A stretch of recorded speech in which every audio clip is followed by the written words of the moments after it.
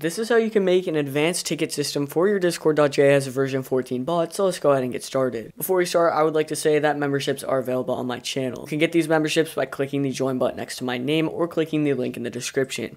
If you purchase the super god tier or custom bot tier, you'll get access to paste bins, meaning you can copy and paste the code from my videos directly into your bot or website so that you don't actually have to type it out. If you purchase a custom bot tier, me and my team will code you a personalized custom Discord bot. If any of this seems interesting to you, go ahead and join the channel today. And let's go ahead and get started with the ticket system. All right, so we're gonna go ahead and start off by setting the ticket. So we can go to moderation and we can do ticket setup.js. We're gonna start by defining a couple of things. So we can do const, we'll do permissions bit field, we can do embed builder, channel type, action row builder, and select menu builder.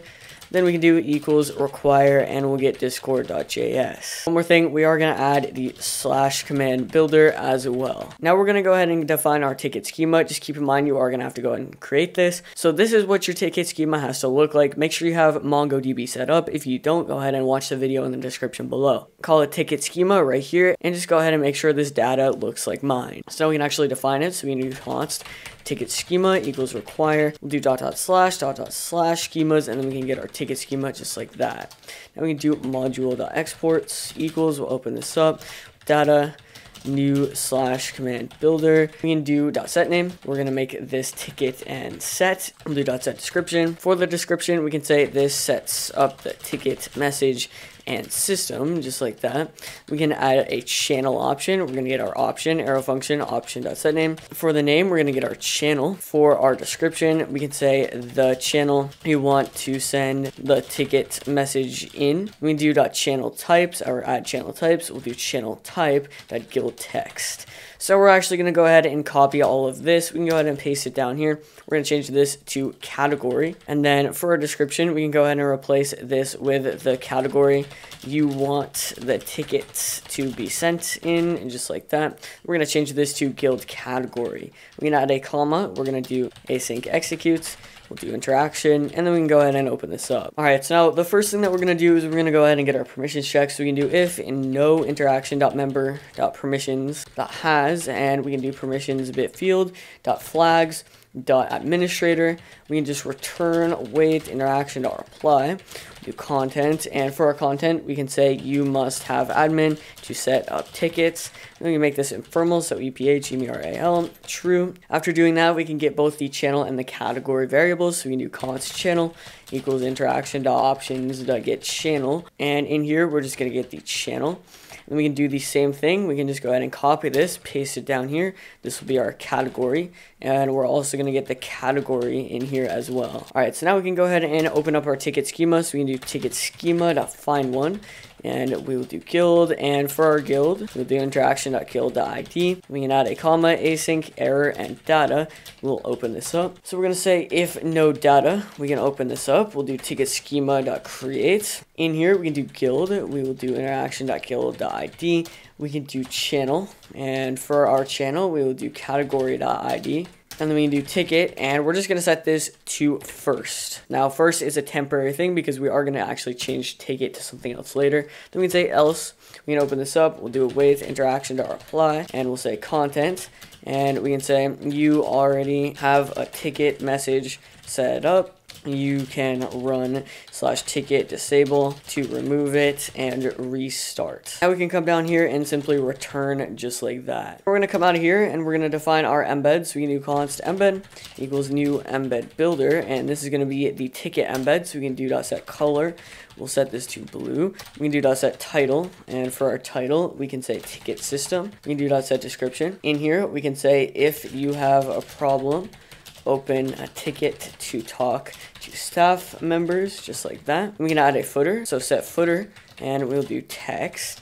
And in here, we can say interaction.guild name and then we'll do tickets just like that. All right so now we can actually go ahead and create our menu. So we can do const menu equals new action row builder. We're to go ahead and add components. We'll open this up. In here we're to do new select menu builder and we can do set custom ID and for that we're going to do select we'll do that set max value and that is going to be one then we can set a placeholder so set placeholder And for this, we can say select a topic. Now we can add options, so add options. The first option that we're gonna add is going to be our label. And the label, I'm actually gonna go ahead and copy an emoji. So this will just be any emoji you want, but I'm going to put that in and I'm going to say general supports. Now I'm going to set the value. Now this is important. The value is what's going to display in the ticket message. Uh, so I'm going to set the value to subject and general supports. So we can actually go ahead and copy this. We'll paste it down here. We can replace this with moderation supports. We can change this to moderation support, just like that. One more thing, just make sure you add a comma here. So we can copy this again. We'll paste it down here. And I'm going to say server support, just like that. This will be server support and we'll copy this again. Now in here, I'm just gonna set this to other. So I'll do an emoji and I'll do other and I'm just going to replace this with other. Now keep in mind these are generic ticket subjects. If you'd like you can set up a schema that saves whatever you want so the user can actually customize what they want in their ticket but for the purpose of this video I'm not actually going to do that. I'm just going to make generic ones. Alright, so now we can send our messages. So we can do await channel.send and we'll do embeds and we can do embed and then we can do components. And for our components, we'll do menu just like that. Now we can go ahead and reply. So we can do await interaction.reply and we can say content and we will say your ticket system has been set up in and then we can get our channel just like that and then we can set this to ephemeral so e-p-h-e-m-e-r-a-l and true just like that Alright, so now we're to move on to the ticket disable command. So to start off, just go ahead and copy this. We can go to moderation. We can do ticket disable.js and we can go ahead and paste everything. So we're to go ahead and actually delete everything in here but the permission check and we can go ahead and delete both of these options right here. You are going to need to go ahead and add a comma up there. We can go ahead and change this to disable and we can say this disables the ticket system. So now we can come down here and do ticket schema dot delete many. We'll say guild. We'll do interaction dot guild ID.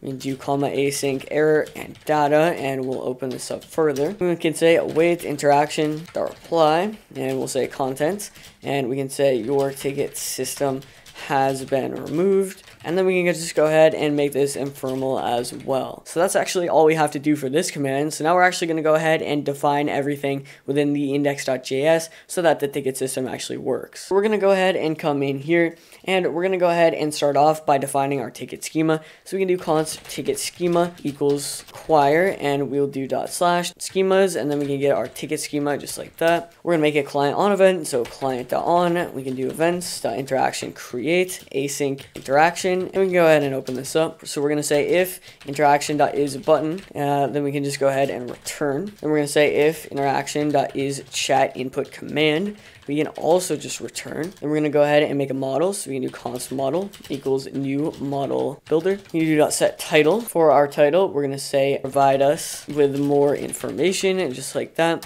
We can say a custom ID and this is going to be model. Now we're going to go ahead and get our inputs. So the first input is going to be our email. So we can do const email equals new text input builder. We can do dot set custom ID and this will be email. Then we can do dot set required and this is going to be true we can do dot set label and for our label we can say provide us with your email and then we can do dot set placeholder and this is going to say you must enter a valid email. We can do set style and this is going to be text input style dot short just like that. Now we're actually going to go ahead and copy this. We can go ahead and paste it down here. We're going to go ahead and change this from email to username.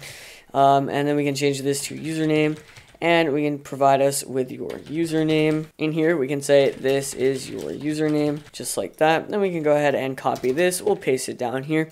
We're to go and change this to reason, reason down here as well. The label is going to be the reason for this ticket. And in here, we can say, give us a reason for opening this ticket, just like that. So we can go ahead and define these things. So we can do const first action row equals new action row builder. We can do add components and in here we can do our email. We can go ahead and copy this and paste it down here. we're going to do second action row. And in here, we're going to get our username. We're going to go ahead and paste it one more time. And this is going to be our third action row. And in here, we're going to get our reason and just like that. So we're actually going to go ahead and add these components to the model. So we do model.add components. And in here, we'll get our first action row, second action row, and our third action row, just like that. So we're going to go ahead and actually do some more stuff with the model. So we can say let choices. We'll go down here and we'll do if interaction is select menu. We can go ahead and open this up. We're going to do choices equals interaction dot values. Then we can say const results equals choices dot join, and we'll put a string in there. Now we're gonna go ahead and find our schema. So we can do ticket schema dot find one. And in here, we're going to go ahead and get our guild, which is going to be interaction.guild.id. And we can go ahead and do async error and data, and we can go ahead and open this up. Down here, we're going to make our filter. So we can do const filter equals, we'll open this up, guild. For our guild, we'll do interaction.guild.id. Then we can go ahead and do const update. For our update, we're going to say ticket, and we're going to update that to result. Now we're going to come down here and actually update the schema. So we can do ticket schema.update one. And here we can say filter, and we'll do updates. and then we can go ahead and open this up. We'll say new, and we're going to make this true. Now, for some reason, if we don't do this next step, it's not going to work. I don't know why. So we're just going to do it anyways. We can do dot then value. We can open this up and we can just go ahead and say console.log value. So now we can come out of this logical statement right here and we're going to say if no interaction dot is model submit we can go ahead and open this up. In here, we're going to say interaction.show model, and we'll make our model in here. All right, so now we're going to move on to our actual handling of all of this data. So we're going to make a new client.on event. So we're going to do client.on, we'll do events.interaction create, do async interaction, and we can go ahead and open this up. In here, we're going to do if interaction.is model submit. We're going to go ahead and open this up. We're going to say if interaction.custom ID equals equals model, and we'll open this up as well. Now we're going to do ticket schema.find one, and we'll do guild, and we can say interaction.guild.id, and we'll open this up so we can do comma async error and data, and again, we'll open this up. And here we're going to go ahead and get all of our inputs, so we can do const email input equals interaction.fields.get text input value. In here, we can go ahead and get our email text input value. Now we can go ahead and copy all of this, paste it down here. We'll replace the email with username input, just like that. We're to replace that with username.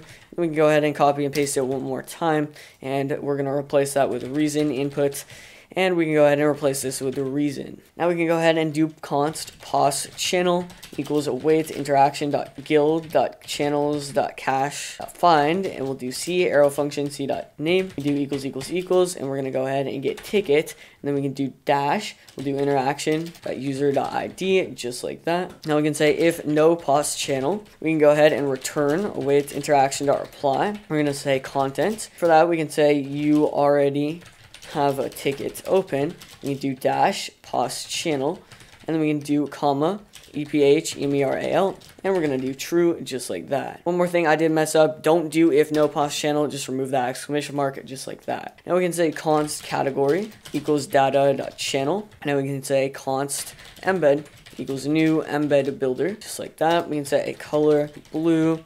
We're to go ahead and set a title for our title, we can do interaction.user.username. Then we can do an S and we can say ticket. Now we can set a description. For the description, we're going to say welcome to your tickets.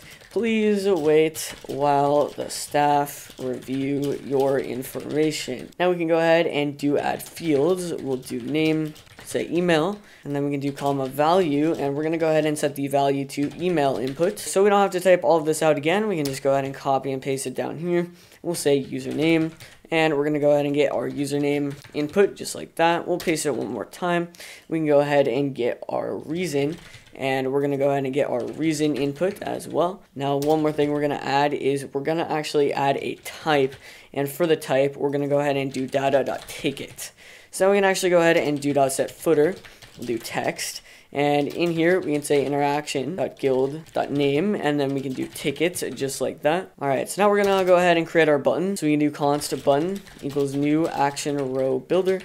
We can do add components. We can go ahead and open this up and do new button builder. And we can go ahead and say set custom ID, and this is going to be ticket.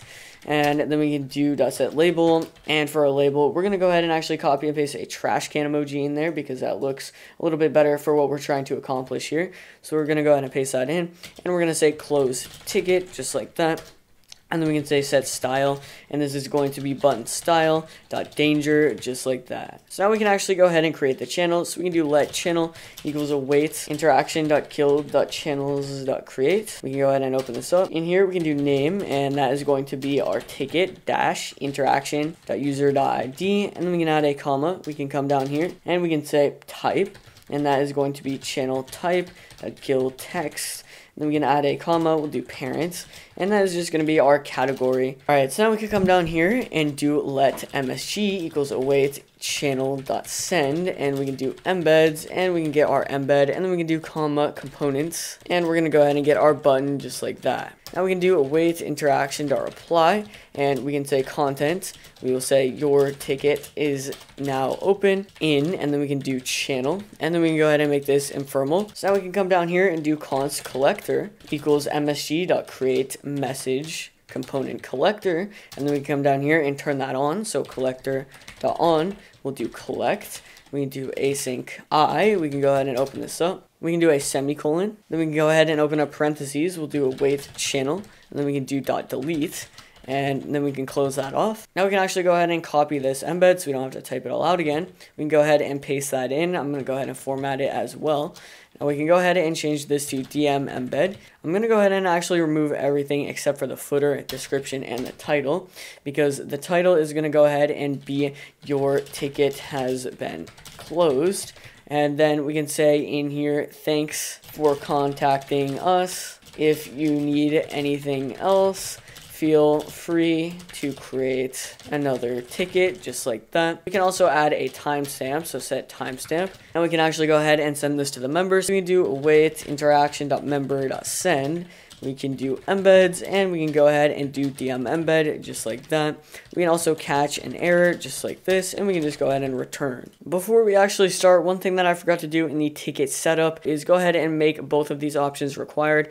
So we can do dot set required and we can make this true and we can go ahead and do the same thing down here. So set required and we'll make this true as well. Now one more thing that you should do is you can actually copy all of this code from the embed down and go ahead and paste it in the ticket schema just so that when this return works, it's actually going to stop everything else from happening. With that, we can actually go ahead and restart the bot and test this out. Alright, so over on the Discord server, we can run slash ticket set, just like this, and we can go ahead and select our channel, which is going to be where the ticket message is sent to. So that's going to be create a ticket, just like this. And for the category, this is going to be where the tickets are opened in. So that's going to be the tickets category. And we can go ahead and send it. Now, as you can see, it's going to say I already have a ticket message set up. So I have to run ticket disable to remove it. So what this means is before I was actually testing this, meaning I already had a ticket message set up. So this is a perfect time to actually show off the ticket disable command. So we can do ticket disable and we can just go ahead and send it. And as you can see it's going to say your ticket system has been removed. So now we can actually go ahead and set one up. So ticket set that's going to be create a ticket. And that's going to be tickets. And as you can see it's going to say your ticket system has been set up in create a ticket. If we go over to that channel it's going to go ahead and send that ticket embed that we went ahead and set up. And as you can see it's going to say I have general support moderation support server support and other let's just go ahead and create an other support and it's going to go ahead and open up this model with all of the information I need to provide in it. So I'm going to say test email, test username, and I'm also going to go ahead and say test reason. Then I can just go ahead and click submit and as you can see, it's going to go ahead and say my ticket is now open in tickets. If I go over here, it's going to say welcome to my ticket. Please wait while the staff review my information. It's going to go ahead and say my test email, test username, test reason, and it's going to go ahead and say the subject, which is what I selected in here as you can see. So let's say I went ahead and tried to create another one of these. I fill in all this information. It's going to say you already have a ticket open. So this is going to prevent people from making multiple tickets. Now let's say we have this conversation and I go ahead and click close. It's going to go ahead and delete that ticket ticket, send me a message saying your ticket has been closed. Thank you for talking with us. We can just try this one more time. So let's say I want to open up one for general support. I'll provide my information just like that. It's going to go ahead and create my ticket and it's going to say my type is general support with all my information. And if I close out of it, I'm going to get that DM and the ticket is going to go away. So that's how you can make a ticket system for your Discord.js version 14 bot. If you need any help, go ahead and join the server in the description below and we'll be able to help you out with your code. And with that, I will see you guys in the next video.